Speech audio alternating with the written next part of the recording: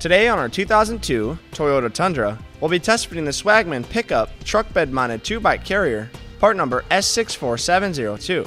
We'll begin our test fit by placing one end of the carrier onto the bed rail of the pickup truck.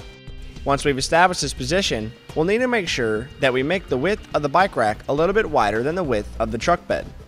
We'll then insert one bracket at an angle on the rail of the pickup truck and push it in.